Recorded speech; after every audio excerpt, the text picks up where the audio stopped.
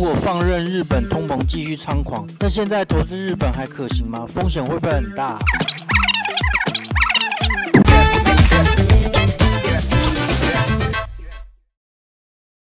嗨，大家好，欢迎收看小薇爱买房。在开始之前，请帮我订阅、分享、跟按赞，跟开启小铃铛哦。好，我们今天有一个新的计划，叫小薇看总经。日币暴跌，成为世界上最弱的货币之一。近几个礼拜，日币狂贬，日本央行早前就货币政策做出改动，将基准利率从负零点一厘上调到百分之零至零点一。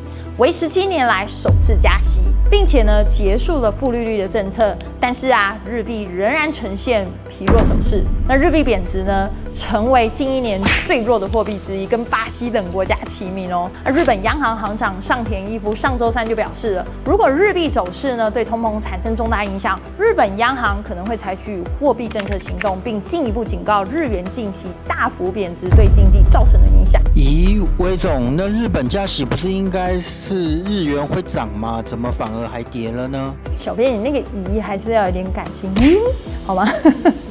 好，可能大家会觉得它是不是 AI 机器人？这是有可能的，没有什么东西在买够是不可能的，好吗？很可爱，我们家小编叫高志言。日本加息是不是应该日币会涨吗？我跟你讲，就是加的不够多。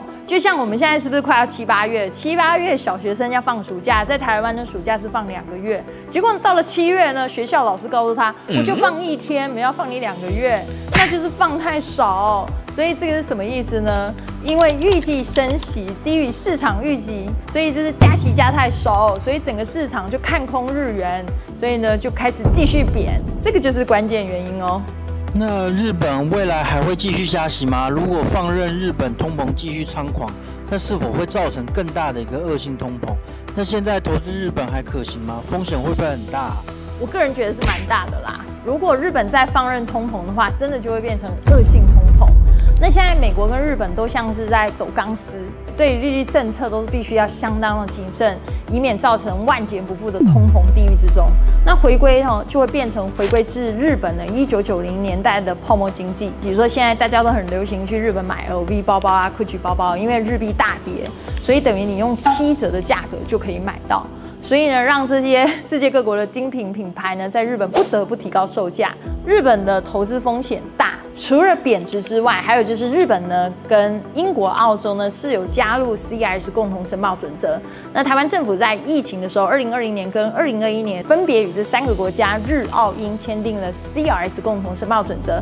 所以只要你在日本有开立银行账户，在每年的九月开始呢，他就不需要经过你的同意呢，就把你的存款余额回报给台湾的国税机关。日本人在台湾的银行设立账户，台湾的银行也会把日本存汇的存款余额回报给日本的国税机关，所以就是双边课税。那所以呢，你的资产呢就很容易被政府呢盯上。那这一点呢也是比较不便利的地方。基本上我们公司就有推广马来西亚跟泰国的标的，所以呢，哎，有兴趣的朋友看一下 QR code 好不好？扫码 QR code 就可以看到我们东南亚的曼谷的新一计划区，还有马来西亚深圳特区的一个很棒的投资标的。